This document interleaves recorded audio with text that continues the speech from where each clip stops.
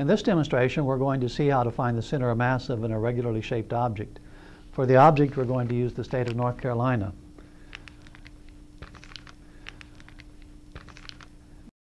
In order to help with this, I'll be using this piece of equipment. There's a nut tied to a string with a pin tied on the end. What I'll be doing is using this string with this pin and a weight attached to it together with the map so that I can suspend the map from the pin and see where the uh, string falls. So I'll begin by putting the pin here. This can be anywhere, but I'm just picking somewhere around Elizabeth City.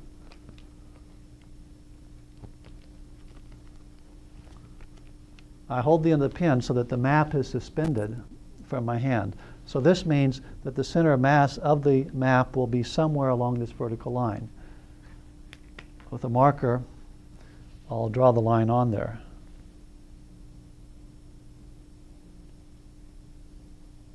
It's kind of a rough line, but you get the idea.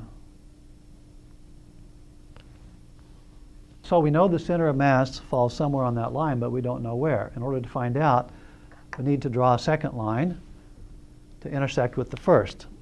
So to do that, I'll put the pin in somewhere else, somewhere up here around Boone.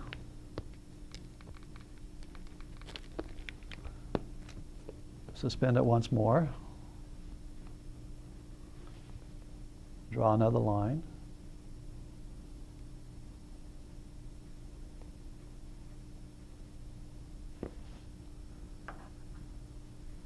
And that's enough to find the center of mass, which should be the intersection of those two.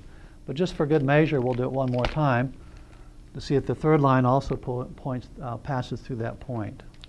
So I'll put this somewhere down around Wilmington.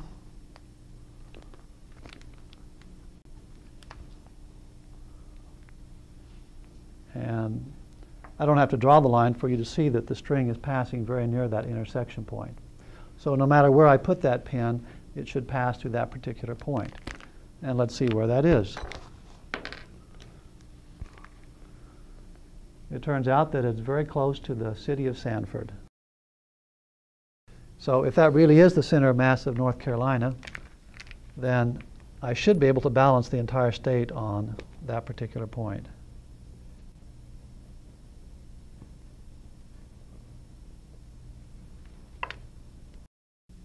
Now, when I said that Sanford was the center of mass of the state of North Carolina, I was talking about this cutout of the state.